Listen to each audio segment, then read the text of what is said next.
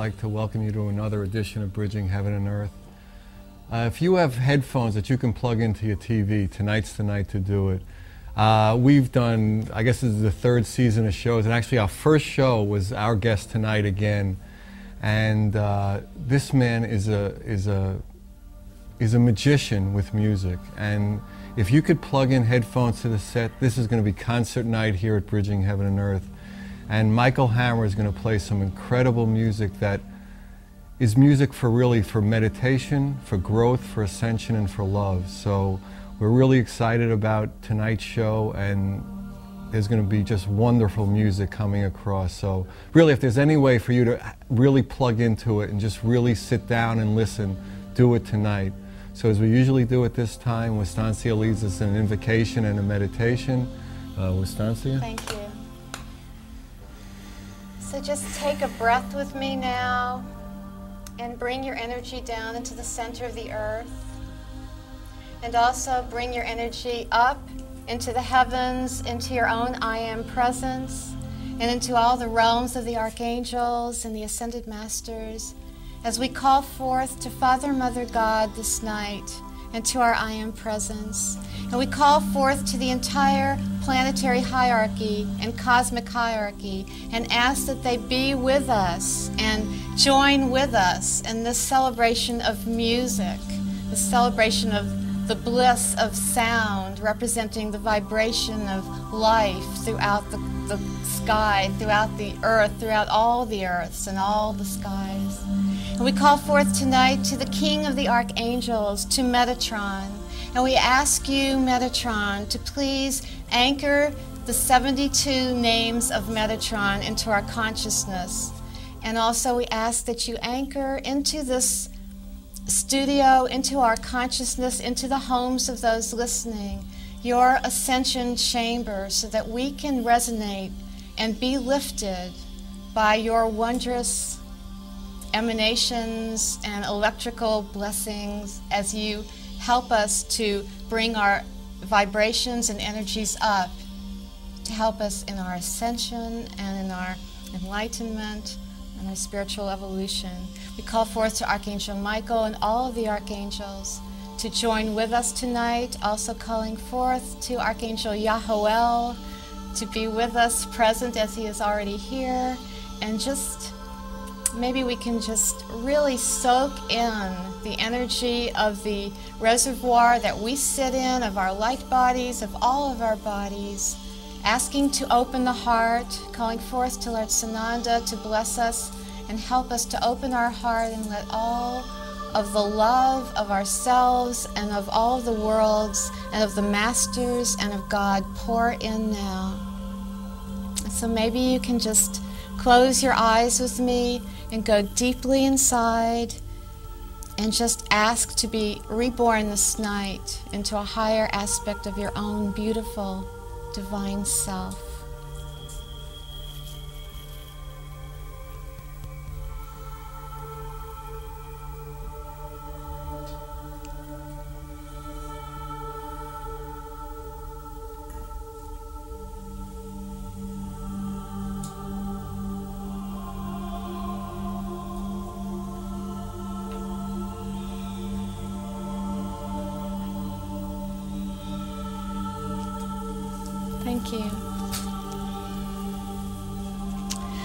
Tonight is really a fulfillment because Michael, the, the music that you've heard on all of our shows in the background, and now we have Michael here as a gift and as a blessing to bless us with the music that he creates on the spot with the help of the archangels and of his higher self, who is an archangel.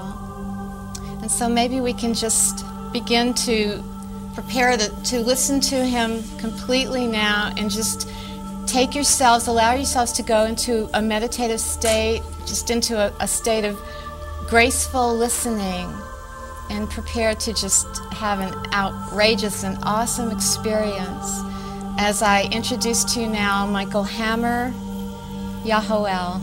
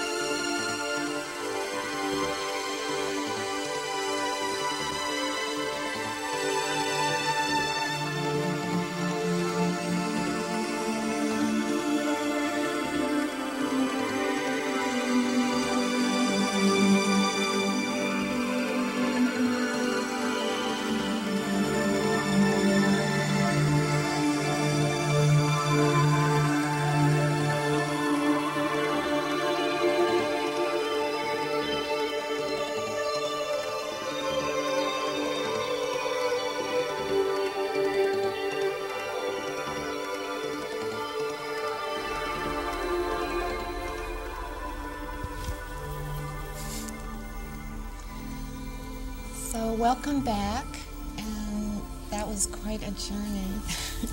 anyway, um, Michael, thank you so much for being here. I'm just, uh, I'm, I feel so much peace right now. Do, you know, it's just like amazing peace that happens with this music. And, and maybe, maybe you could just talk a little bit about the music, like what it, what what music means to you. Almost like what is your feeling about music and your life? This music. Well, when I play in, in 22 seconds.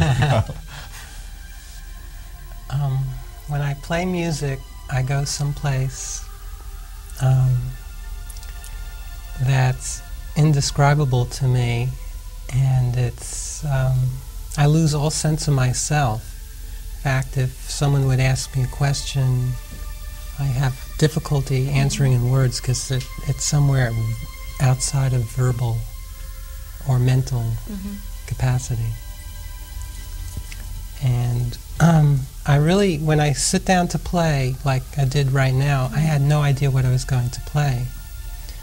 Um, even the sounds at the last second, I started switching them. And um, I just tuning into the energy, and it, it shifts it. it could just shift in a few seconds, and I have to shift the sounds. And sometimes I'm locked into the right sounds, and it works beautifully. So, are you saying that you don't you never play the same thing twice? Like everything no. is is truly just created. It's all like you could moment. never duplicate. No, never. It's all in the moment. That is so amazing. What are you doing when you're when you're doing all those buttons? What are, what are, what are you doing? Like, what, do you are you not you're not thinking? Is it just like an automatic no, kind of? Um, what is it? Inside myself, I'm holding many tracks. So uh, one time I started counting how many different aspects of tracks I'm holding, and it was like 200. And a track would have to do with one might be just um, the volume, another would be keeping a eye on the keyboards and what settings I'm using, mm-hmm. what sounds. Another is the blending of the sounds. Some is the harmony.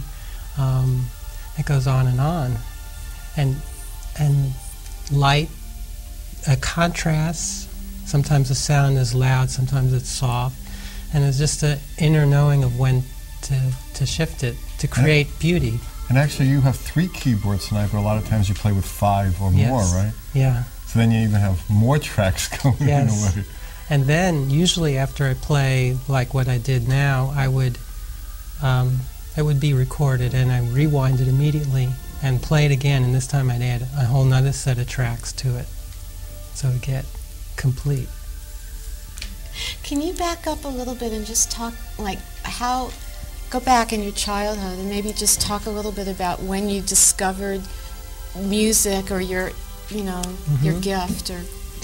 Well, my first experience was uh, my first memory was probably age three yeah. or two, maybe three or two. I would sing harmonies with myself, and I, you know, I kind of thought it was strange. I could sing three-part harmonies with myself, mm-hmm. and then it wasn't until I was about 30 years old, um, a group of monks came into Santa Cruz, and uh, they practice a chanting which produces overtones of harmonies and which takes many, many years to accomplish. And I was doing that as a little little kid. You were doing it under the covers. Yeah. Oh my god. well, did you think that all children could do that? Well, I didn't think anything of it at yeah. first. And then as I got older, I thought, this is strange. It should is one voice. There should be one voice. So, in some ways, what you're saying is that you didn't actually go onto a spiritual path and decide to do a meditation, that somehow you had a, a connection, like just always. Yeah. Connection always with with the higher realms and gifts that you didn't even know where they came from. Yeah, but there were times when I doubted my my gifts. I didn't consider them gifts. I considered a weird thing. Mm-hmm. I would play where when no one would hear me because I was afraid if someone heard me, they would judge me as being weird music. And I, uh, was well into my mid 20s before I ever allowed anyone to even hear myself because I was ashamed of what I was playing. But I got so high by myself that I just continued. I'd lock myself in a room or go into a church at night and just play with no one there.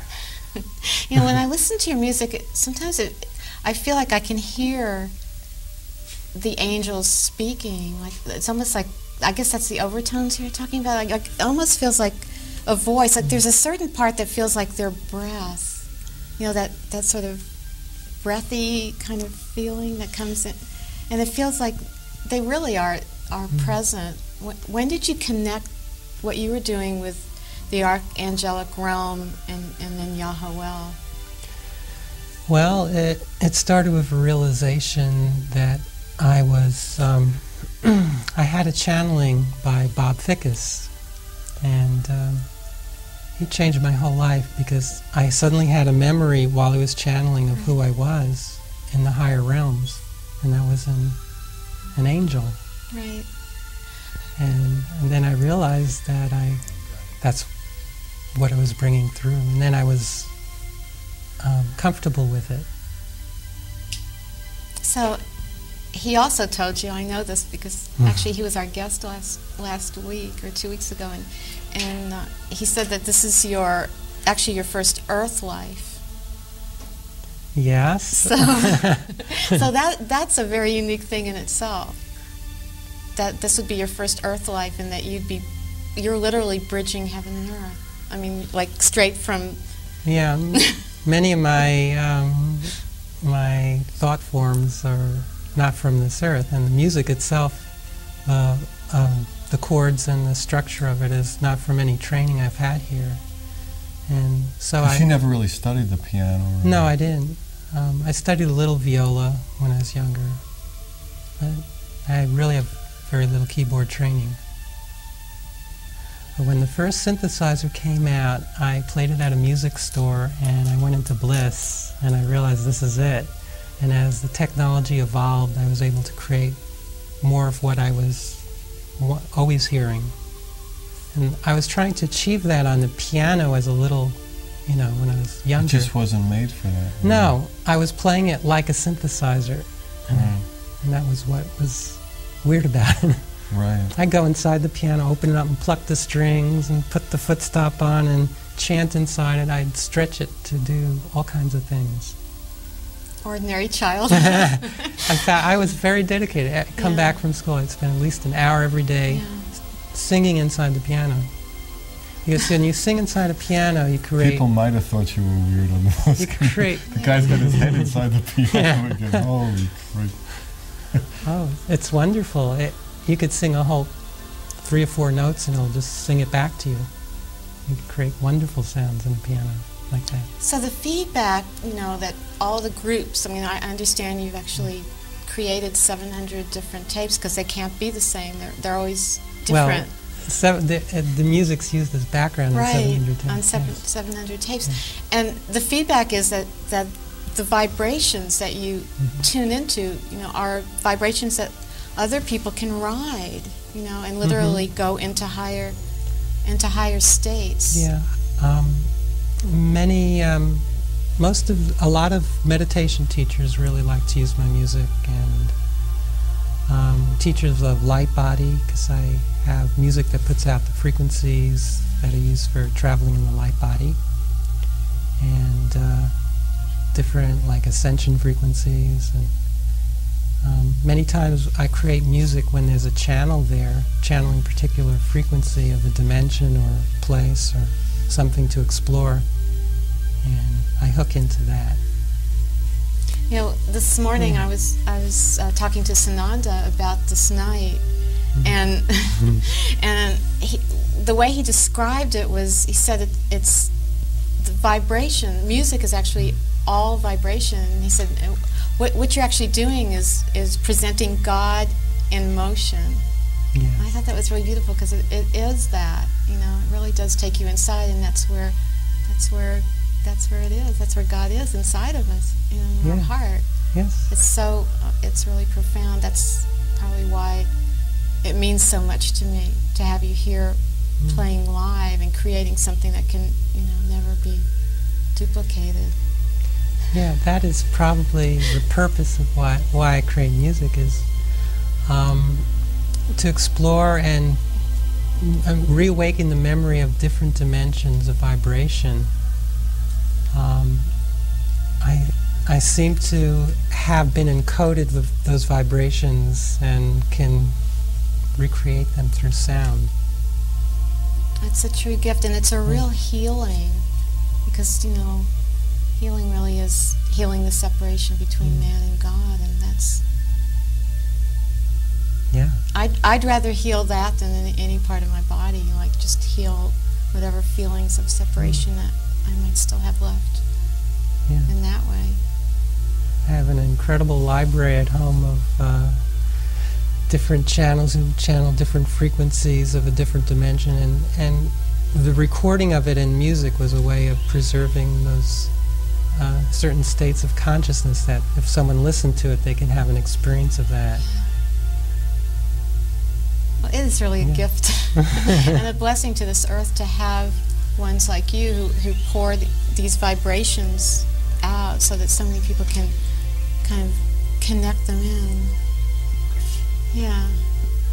When I think they've been showing on the camera, you have a lot of tapes and CDs out, like I, I always give a number. It's like, no, not that number.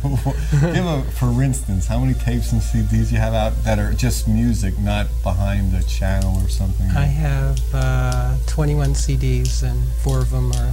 And they're like international. I mean, they're all oh, over yeah. the world. And yeah. you were telling me, uh, Michael's staying at my house now, and he was telling me that actually his sales are greater overseas for some reason now at this point.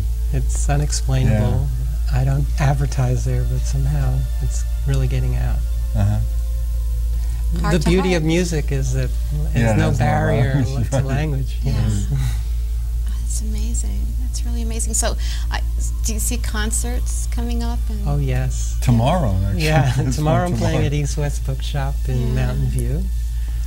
And uh, has there been any thought of like you know like bigger venues and you know well, I know you played at the uh, the New Year's celebration in Wisconsin, uh, channeled, but or did a. That was such an honor, really, to to um, to uh-huh. create an undo. I mean, I, I'm really hooked on the fact that like it's it, they're not songs, you know, because you can never just play them again. You, you have to buy the CD, you know. so you know, they're just like one of a kind. They're like it's like you know designer music or something, designed by the angels. Yeah, I like to design it for the moment, whatever the vibration is at the moment. Yeah. That to me is the challenge. Um, a lot of people play music and think it out and write it out, right. and that's beautiful too.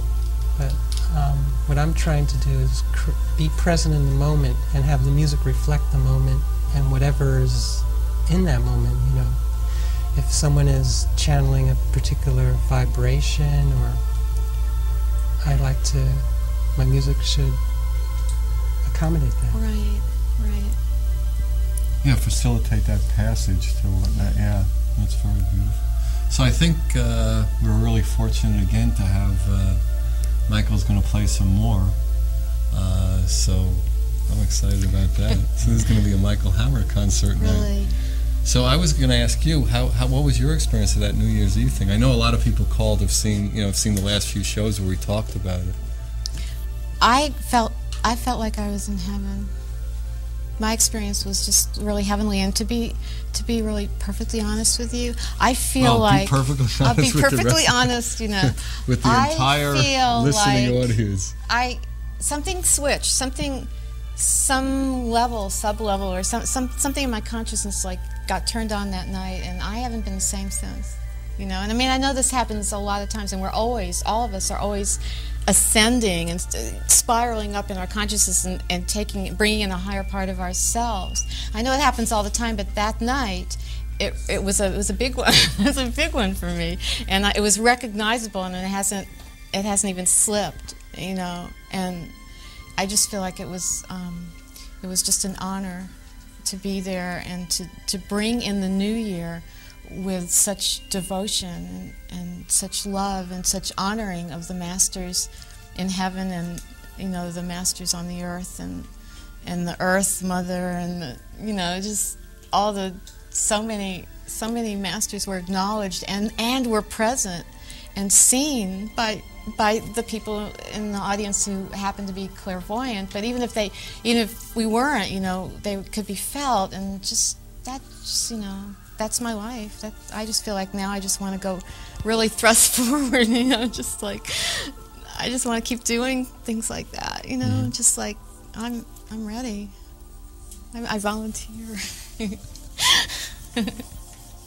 What did you feel I thought it was an incredible night. Yeah. I really had a beautiful experience. Yeah, I was. Uh, yeah, for me, I mean, I didn't really want to participate in the thing itself. I just wanted to go and just to soak it in. And uh, yeah, I was uh, really, really felt taken and had a beautiful experience. It was great. It was a beautiful night. Yeah.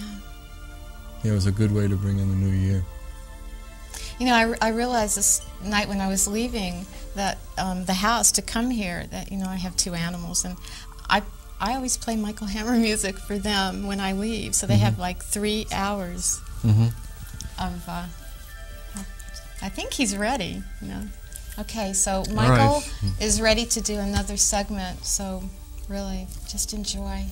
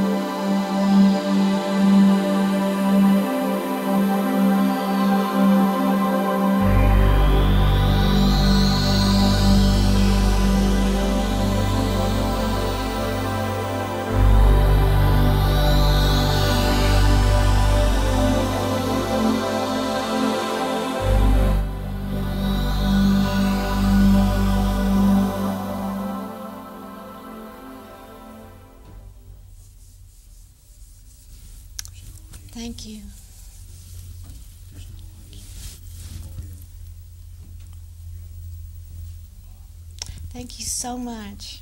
I, am kind of speechless, actually. um, just blessings to everyone. Have a blessed, amazing year. Have the year of your life. If anyone is interested in Michael Hammer, where he's playing his tapes, his cons, you know, where his concerts will be, how you could reach him, call me at 805-687-2053. I hope you had the experience that everyone here had. God bless you. Thank you. Good night. Thank you.